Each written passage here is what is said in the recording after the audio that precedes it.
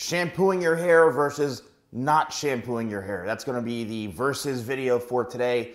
And I am so thankful that you all have been embracing this new approach to my videos because I've been looking for something to bring to the table for all of you. Wait a minute, what the heck? Sorry about that. I saw something, I was like, what the? Um, bringing to the table something new and refreshing because after being on YouTube for probably almost 14 years now, you know, and posting five days a week, uh, it gets a little interesting and sometimes I'm looking for some new stuff. Now, this is another twist to this, and, I, and I want your opinions on this. How about if we took these videos to a whole other level where we started comparing, you know, hairstyle versus hairstyle from like, you know, a, cele- like a celebrity or an influencer or, you know, a, a soccer player, like this person's hair versus this person's hair. What are the pros and cons of it? Let me know in the comments below. I'd like to definitely try that. It would mostly be, uh, sorry about that, it would mostly be, I would say, image based for the most part. And I just have to be careful with like using images. However, let me know. But also let me know if you want to see whatever other types of hairstyle versus like hair tips and things like that. So shampooing your hair versus not shampooing your hair. So let's talk about the, let's start with shampooing your hair first, the pros and the cons of that, and then not shampooing. So shampooing your hair, basically what shampoo does is it cleanses your scalp, it cleanses your hair, removes buildup, removes traces of whatever the heck is in your hair, and it, I hate to say it, keeps your hair clean. Think of when you wash your laundry, your laundry gets cleaned. Your clothes get clean when you wash it in the, in the laundry. So that's kind of what shampoo does. If you were to just imagine if you were to just take your dirty clothes, throw them in the washer machine, and then just rinse it. I mean, it's not going to clean it as well as it's needed. Okay, it may rinse off like some of the dirt and grime, but it's not going to get rid of the smell. Uh, it's not going to really deep cleanse your clothes to where they're nice and fresh. It's the same thing with washing your hair or shampooing your hair. If you're just using water, you're not really cleansing. Water, it's like when you wash your hands, if you really want your hands to be clean, use soap. If you just rinse your hands off, you're not really disinfecting anything, any germs or anything with, without using soap. You're not really getting the dirt and grime off like you should be, okay? So, in my opinion, the pros to shampooing your hair are you're literally cleaning your scalp. Now, also, especially with my shampoos, like I have, you know, a hemp shampoo and conditioner, which really works wonders for the scalp.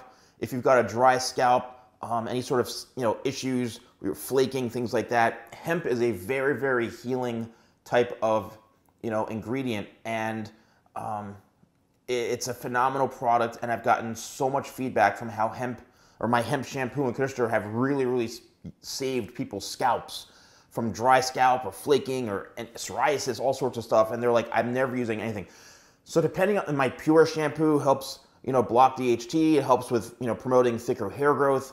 And some shampoos basically really do help with promoting a healthier hair growth, healthier scalp, scalp issues. So shampoos can be amazing, especially mine, right? Now, if you're going to a random store and buying a shampoo that's really loaded with like harsh chemicals, there's no real benefits to it. Chances are it may dry out your hair a little bit, it may dry your scalp, and I've experienced that over the you know 30 plus years of being in this industry. I've used shampoos even from other professional lines that really make the hair feel very, very dry. Okay, so there could be an issue there, but that's where conditioner comes in. Okay, um, I'll just sprinkle in conditioner. It definitely is designed to kind of smooth your hair and detangle, and that's what makes it feel a lot softer. All right, so the pros of shampooing your hair really is you're actually cleaning your hair. Now, what are some cons of shampooing your hair? Well, like I mentioned, if you're using a shampoo that's not really the highest quality or the greatest quality, you may feel like it's drying your hair out and it just may not feel good, okay? Uh, and, and we don't always necessarily want that. Some shampoos with specific ingredients, you know, could make your hair very fluff, like fly away and almost like frizzy and staticky. Uh, you know, again, not shampooing your hair over time, I think the buildup on your scalp could be just a nightmare. Your hair, could, your scalp get very oily. You maybe may break out. You know, your scalp may even get a little bit dry, not dry, but like clumpy and, and cakey because of all the oils building up over time. And you know, so I would suggest honestly, like I don't see a whole bunch of benefits to not shampooing your hair, especially when needed. So, however, now let's talk about the pros of not washing your hair and the cons. So, the pros of not washing your hair. So, a lot of people are like anti shampoo because they think there may be harsh chemicals, which could be true. But I guess some people feel like it helps promote hair growth a little bit more, makes the scalp feel better. Uh, makes their hair feel better. I think it's more of a placebo type of thing, to be honest with you, where you think like your hair is getting better and better and it's less drying. But in my opinion, though, if you're using the wrong type of shampoo, that could be contributing to the issues you're having, which is why you don't want to shampoo your hair. If, you, if you've tried one shampoo or two shampoos and you just hate how they are, well, chances are you're not going to want to use those again, to be honest with you. However, if you use a really good shampoo after using a bad one, you may end up liking that one so much and it may perform the way you want it, then you keep using it. So, you know, the pros to not washing your hair, I, I mean, there's people all over the internet who are like, oh, I wash my hair once a year, or I never wash my hair. I stopped washing it three months ago. I haven't, I haven't shampooed my head in like, you know, five months. I'm like, well, first of all, I wouldn't want to smell that.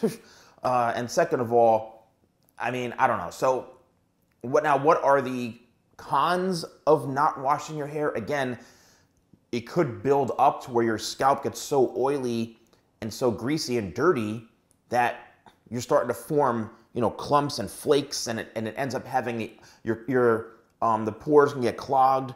Uh, your scalp, you know, can get clogged, and it's actually going to prevent your hair from breathing, your scalp from breathing and growing, like your hair growing properly. So, you know, it's like taking on too much of something, it's going to be just too much. So, I think the cuticle layer on your scalp needs to be cleansed.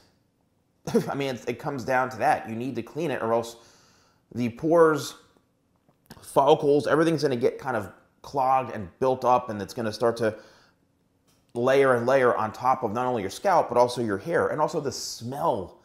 I'll be honest with you. I mean, when I used when I was working in a salon many years ago and I used to wash someone's hair, like a woman who would get her hair done once a week, sometimes every 2 weeks when they would come in and I would just rinse their hair before even washing it, rinsing. And the water was literally just cloudy and the smell was just awful. Chances are you may have a very bad odor when you don't wash your hair, okay? I mean, hate to say it, but I have seen it, I've smelt it before, and it's not the most pleasant. So now, here's why I'm asking to ask you all a favor. And I want as many comments as possible. This is such a big topic that we all talk about. What is your approach? Have you found success with not washing your hair have you tried not washing your hair and you're like, yeah, this is just a fluke, it doesn't work for me, and then went back to washing your hair? Do you wash it? You know, and then also the big question, how often do you wash your hair? Yes, I'll, I'll address that, which I've done before. I say every two to three days or as needed. If you're somebody who just works outside all day, you're sweating constantly, you feel your hair's grow, you've got to think at it. Wash your hair as often as you want. That's it. Maybe then use a little conditioner to soften it a little bit. Use maybe my 25 spray. Use one of my shampoos so you know you're using in conditioner so you know you're using good stuff. I mean, it comes down to that. But like, let me know in the comments below what has been working for you. And I really, I do want to see somebody or a handful of people saying like, "Oh, I haven't washed my hair in like five months and my hair is better than ever." Like, okay, but let me know in the comments below. Like, let's get as many comments as possible. And let me know, once again, if you or what you want to see in these kind of versus videos. I'm going to do one like, you know, wavy hair versus curly hair, straight hair versus wavy hair, uh, you know, blonde hair versus dark hair. I mean, like, let's get creative and let's keep this this going because I feel refreshed with this with my content. So, if you do want to use any of my shampoos and conditioners, use code YouTube20. That's YouTube20 at shop.thesalonguy.com. Thank you so much for watching, and I'll see you soon.